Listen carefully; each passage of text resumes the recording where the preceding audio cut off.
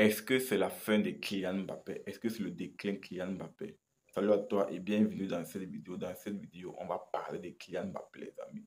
Vous savez qu'il a quatre matchs, quatre matchs sans marquer le moindre but.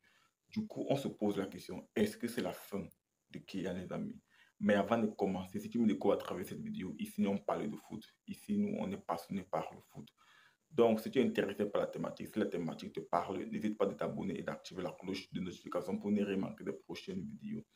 Si c'est fait, on est parti. Alors, les amis, Kylian Mbappé, ça fait quatre matchs qu'il ne marque pas, ne marque pas le moindre but. Du coup, on s'interroge, est-ce que c'est la fin de l'homme? Est-ce que c'est juste euh, un coup de moins bien?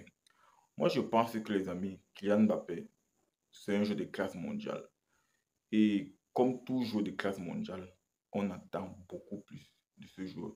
Sinon, le match qu'il a fait face, face à Rennes, ce match-là, ce n'est pas si mauvais que ça. Mais comme il n'a pas marqué, et en plus, il a raté un but immanquable. Là où il dribble, il dribble au gardien, et ensuite il n'arrivait pas à mettre le but. Je pense qu'il marque ce but tous les jours. C'est le genre de but qu'il marque tous les jours.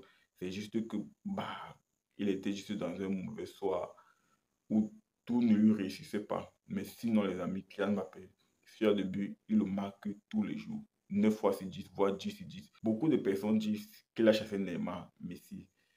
Est-ce qu'il a vraiment chassé Neymar et Messi? Moi, je pense que Messi, Messi a refusé de prolonger. Ramos a refusé de prolonger. Peut-être Neymar, les dirigeants n'en voulaient plus à cause de son hygiène de vie. Mais ce n'est pas la faute de Kylian Mbappé. Ce n'est pas la faute de Kylian Mbappé. Si Neymar, à mon avis, si Neymar quittait le PSG, ce n'est pas la faute de Kylian. C'est juste que Neymar paye sa mauvaise hygiène de vie. C'est un mec qui n'est pas assez professionnel, c'est un mec qui ne prend pas son métier au sérieux. Et lorsque tu ne prends pas ton métier au sérieux, tu le payes cash. On l'a vu avec Eden Hazard, les amis. Eden Hazard, Hazard a pris sa retraite à 32 ans. Pourtant, c'est un mec, à mon avis, qui, encore, qui avait encore beaucoup apporté au foot, mais il a pris sa retraite. Donc, euh, moi, je pense que Kylian Mbappé, ce n'est pas lui qui a chassé Neymar. N'a pas chassé Neymar. C'est juste que Neymar paye sa mauvaise hygiène de vie et Kylian se retrouve donc seul au PSG. Moi, je trouve que Kylian a besoin d'un passeur. Kylian a besoin d'un passeur. C'est, tu as Zayn Emery, mais Zayn Emery, je trouve que c'est encore léger. Euh, tu as Vitinha.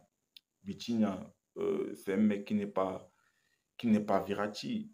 Quand tu paies Messi, tu paies Neymar, tu paies Virati. Ça fait beaucoup au niveau de la créativité. Ça fait beaucoup au niveau de la créativité. Donc, moi, je pense que Kylian Mbappé, la saison passée, il était plus dans la finition. Maintenant, c'est lui qui doit presque construire le jeu. C'est lui, Enrique. Comment il est obligé de venir au cœur du jeu pour participer au jeu, alors que c'est un mec qui était plus dans la finition. Il attendait les ballons de Messi, de Neymar et parfois de Virati. Donc, moi, je trouve que il est victime du nouveau système de Luis Enrique. Il ne s'est pas encore bien adapté à ce système de jeu. Mais sinon, moi, je ne suis pas inquiet pour lui. Il va s'en remettre c'est un compétiteur. On en parle des clients, mais en parlant un peu de Alan, Alan, c'est 4 ou 5 matchs sans marquer. Je n'entends pas des cris de partout que Alan, machin, Alan, c'est au moins 4 ou 5 matchs sans marquer le moindre but. Mais ça ne râle pas. Ça ne râle pas. Donc, moi, je trouve que Kylian, c'est normal. Il traverse une mauvaise période. Il est dans un moment un peu moins bien. Et même Deschamps l'a dit. Deschamps l'a dit en conférence de presse que Kylian Mbappé traverse un moment un peu compliqué, mais il va se remettre, il va rebondir. Il va rebondir, les amis. Donc, moi, je ne suis pas inquiet pour Kylian, les gars. Je suis vraiment pas inquiet pour lui. Pour moi, il va rebondir. Pour moi, c'est juste une question de temps. Pour moi, euh, il va marquer même face aux Pays-Bas, euh, France-Pays-Bas. Il va essayer de se relancer en sélection. Et je ne vois pas Kylian faire deux, trois matchs sans marquer je ne vois pas faire deux, trois matchs de plus à marquer. Donc, euh, il va se relancer tranquillement et il va fermer les bouches des gens. Après, partage-moi ton ressenti en commentaire. Est-ce que tu penses que Kylian va se relever? Est-ce que tu penses qu'il va rebondir Dis-moi tout. Et si ce n'est pas encore fait, n'hésite pas à t'abonner et d'activer la cloche de notification pour ne rien manquer les prochaines vidéos. Sur ce, on se dit à très bientôt pour notre vidéo, les amis. Ciao, ciao